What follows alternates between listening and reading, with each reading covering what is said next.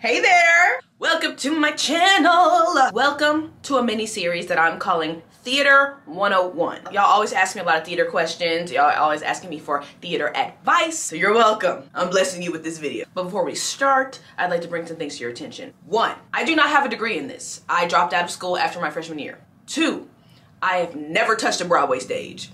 Yet. Three! I have been doing theater for 11 years, and I have been doing theater professionally for seven years. But at the end of the day, I am just a young woman with a dream.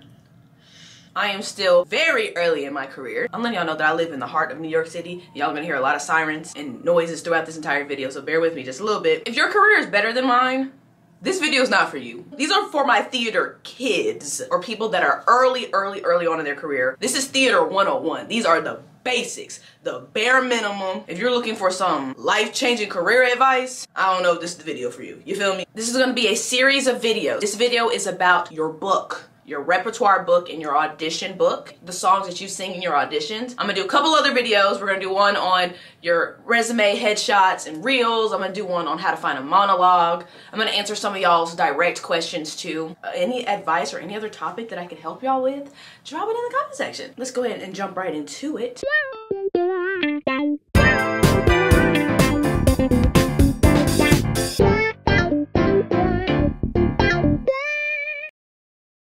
First of all, let's talk about the difference between your rep book and your audition book. Your repertoire book or your rep book are basically all the songs that you could possibly sing in an audition or in front of an audience. That's gonna be a large catalog of songs depending on where you are in your theater journey, right? Your audition book are like five to nine songs from that rep book that you would physically take into an audition, okay? People use the two terms interchangeably, but for the sake of this video, we're gonna consider them two completely different things okay? In order to have a really solid audition book, we need to make sure we have a really solid repertoire book. So I'm gonna go through a list of all the types of songs that you need to have in your repertoire book at the bare minimum. As long as you have a song for every category that I'm about to list off, you're set and then we can pull a few of those and put them in the audition book. I'm gonna give y'all examples from my own repertoire book. There are two important things that you need to consider when picking out rep and picking out songs for yourself. One, your voice type, Two, what type of characters you play best. Like for me, I know that I'm an alto. Oh, I can still sing high C's just like sopranos can, but I know that I'm an alto. My voice sits really low. My comfortable range is in my chest voice, in my lower range, because that's just where my voice naturally sits anyways. To be honest, I would say I have a really wide range of acting, not gonna lie. Like I wouldn't go in for something like Janis and Mean Girls or what's her face in uh Beetlejuice that sings Dead Mom. Like I would not go in for a role like that. I could play a role like that. That's just not my forte. You feel me? I also am very aware of like the different styles of music and specifically styles of musical theater music that I do well. Like I know that I sing Golden Age really well. I also can sing R&B really well. And you know, you can be completely different. You might play angsty teen really well. Some of y'all might have a beautiful classical register. That's just not my forte, so therefore I am not pulling music that fall into either of those categories, unless I have to, okay? So this is gonna be a pretty lengthy list. You're gonna have songs that fall into multiple categories. That is totally fine. You don't need to have a completely different song for every category. As long as you have a song that fits in the category, boom, you're good to go. You are good to go, okay? So let's start with Golden Age. I love Golden Age musicals. That's when I was supposed to thrive. If I was around during the height of Golden Age musicals and there wasn't racism, I would have seven Tonys. Seven! I'm just bullshitting. Golden Age musicals are any musicals that happened before 1960, okay? My college kids that are going trying to go to university for musical theater, essential. Some people argue that Golden Age is like pre-1965 or like pre-1970. I like to say pre-1960 because that's usually the standard. It's always better to be safe than sorry. So you're gonna need an up-tempo and a ballad for this. Up-tempo meaning upbeat or fast pace and ballad meaning like slow. Duh. My golden age up-tempo is going to be Always True to You in my fashion from Kiss Me Kate and my ballad is to be What Did I Have That I Don't Have from On a Clear Day. Now we need two contemporary musical songs. So that's anything 1960 and on. It could be something that's on Broadway right now. It could be something that was on Broadway in the last 10 years. Anything that happened after 1960 would be considered contemporary, okay? Like I said, you're gonna need two for this. You're gonna need an up-tempo and a ballad for this one. My up-tempo is Waiting for Life from Once on This Island. What is my ballad?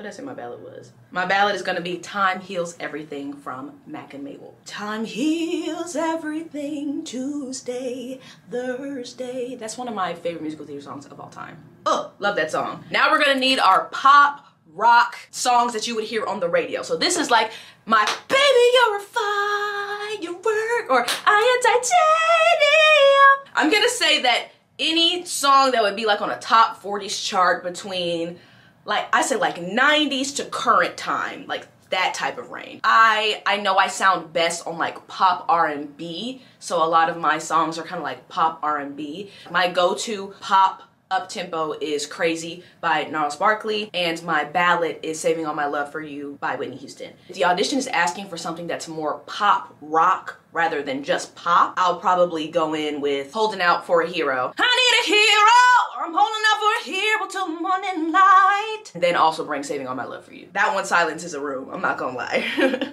that one does silence a room from time to time, okay? Now we have our pop rock two songs, okay? Now we need a song from a mega musical. This is gonna be a song from a musical that everybody knows, like Les Mis, Ragtime, Wicked, Hamilton. Since it's gonna be from a, a show that everybody knows, it's gonna be a song that everybody knows, you feel me? You only need one of these. This is also going to be a song that your theater teacher, instructor, professor will tell you not to bring into an audition because it's overdone and everyone's heard it. I have a slightly controversial opinion. Stick with me. I am a very firm believer that if you can sing it well, regardless if it's overdone, you can still sing it in an audition. But when I say sing it well, I mean exceptionally well. Like I'm talking like if I am not defying gravity after you just sang defying gravity, you should not have sung defying gravity. If you know that you are not changing lives with your rendition of defying gravity, stay on the ground. Said with love. Okay? My song for this category is On My Own from Les Mis. Now we're gonna need something that's folk or country-ish. So this is for our waitresses, Hadestown, Bright Star audition. So in my opinion for this category, you can choose a song from a folk slash country musical or a regular folk slash country song. Um, you only need one of these. First of all, I love country music. I love country music. Country music is one of my favorite genres to listen to. I also know what I do well and what I only do kind of good. For me, I like to sing Asheville from Bright Star. It could be Jolene, Jolene, Jolene, Jolene. Jo Moving on, you need a Sondheim song. Okay, I'm gonna be real. No one has ever given me a real reason to have a Sondheim song in my book other than them saying, you need a Sondheim song in your book. So I guess you need a Sondheim song in your book, okay? Mine is Losing My Mind from Follies, which is my favorite musical theater song of all time. I have another controversial opinion. A big rule of thumb that I feel like a lot of theater teachers and professors have is like don't sing a song for an audition from a role that you would not play. Losing My Mind from Follies, the woman that sings Losing My Mind in the context of the show is a older woman, so theoretically I would not play that role right now. It's not just my opinion, this is an opinion I've heard from other professionals as well. Like if you can sing it well and effectively communicate a story, you can still sing it. It's not that serious. No one's gonna put a gun to your head because you sang a song that usually an old lady sings. Did you eat it up? Did you eat it up?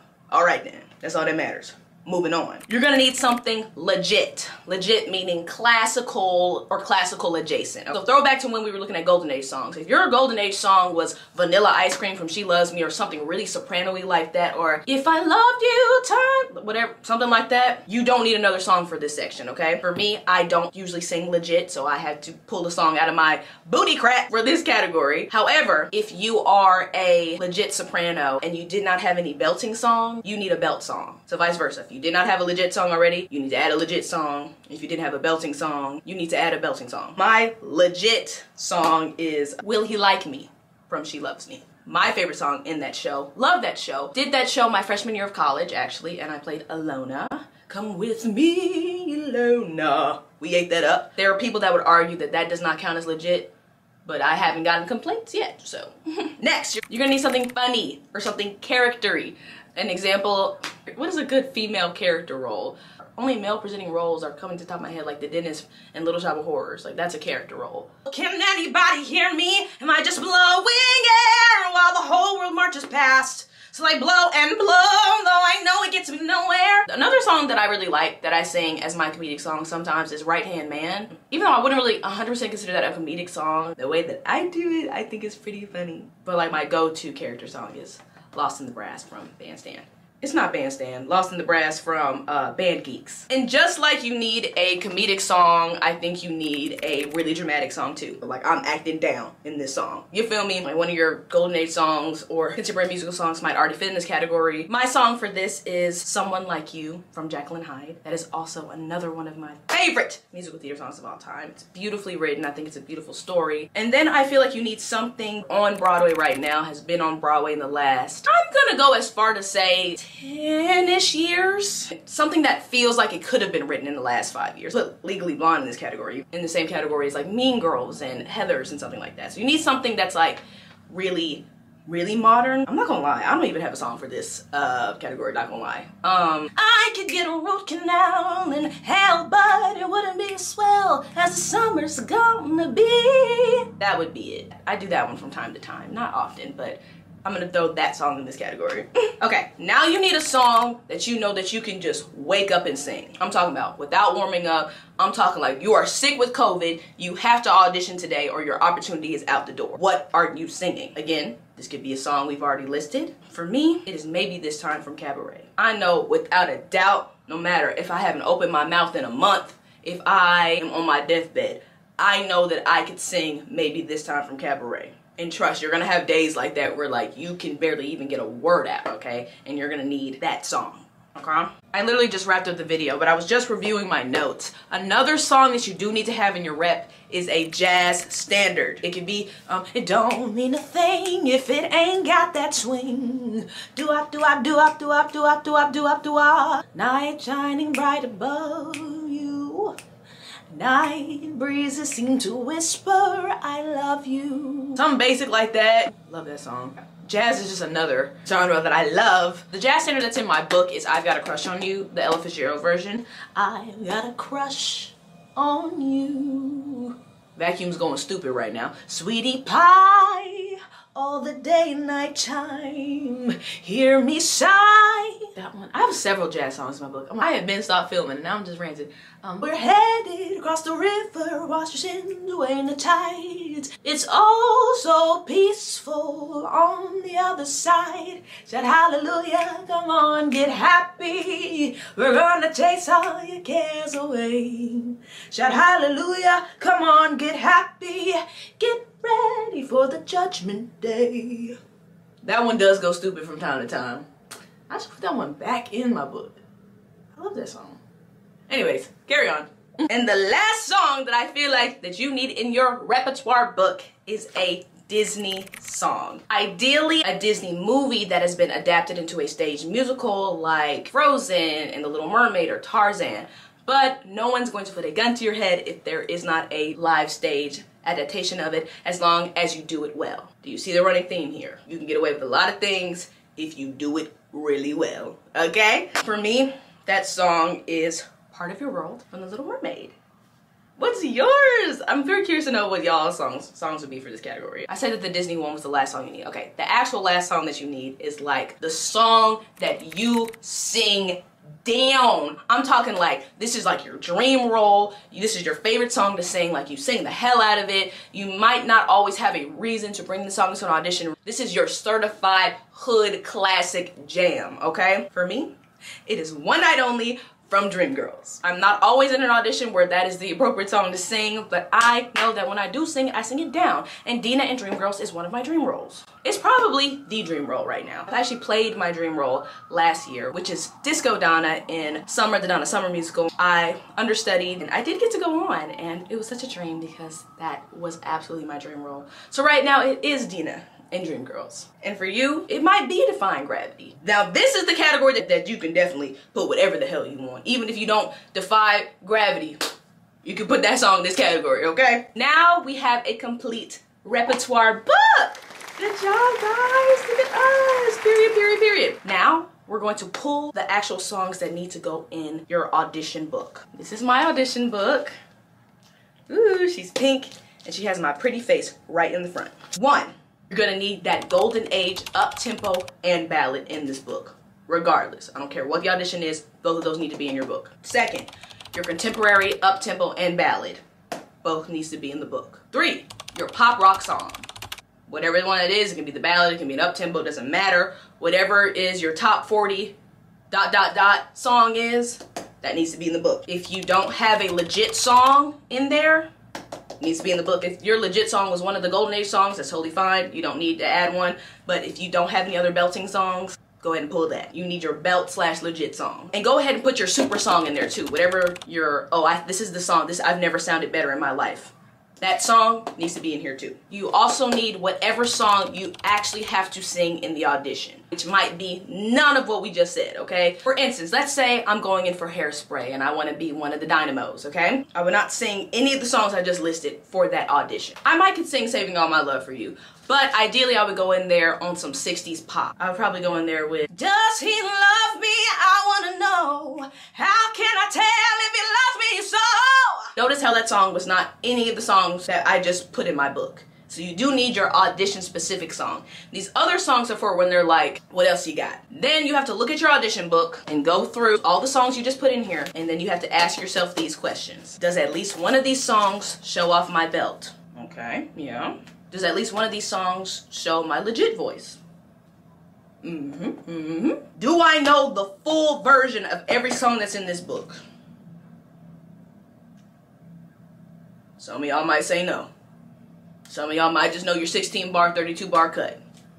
If that's the case, go ahead and take it out. Hate to tell you, hate to say it, you might gotta take it out the book. This only happened to me one time, but I haven't asked one time if I would sing the full song of a song that was in my book. And who would have thought? You just want to stay ready so you ain't got to get ready. Do I have my song for my actual audition? Mm-hmm. Is there a song in this book that if I was asked to sing it that I could not sing it. If I know that I ain't got that high note in that one song, I'm not gonna bring it. If I know that I don't know the words to my 16 bar cut of that one other song I have, I'm not gonna bring it. Know, one thing that has happened to me before, I finished my song and then they were like, can I see your book? And so I literally got my book from my accompanist and gave it to the table and they literally went through and looked around and then they were like, can you sing this for me? And they just picked a random song. It had been a song that I had not sung in a while. I knew it, and I did well, but it was a song that I had not sung in a while.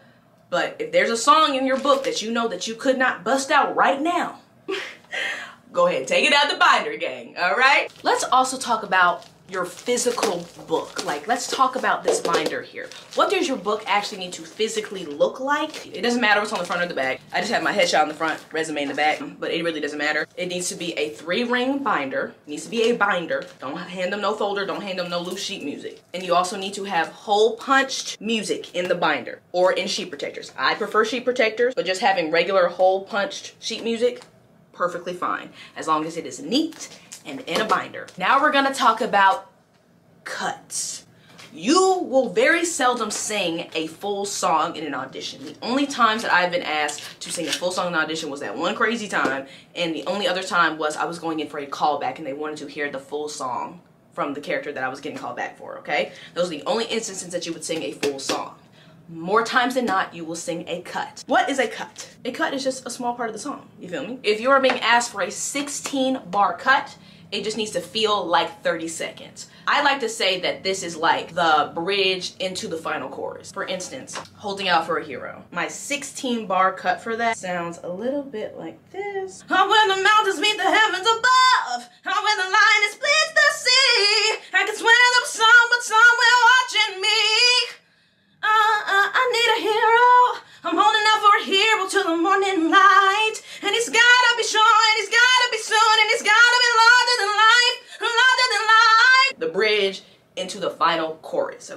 Is this exactly 16 bars?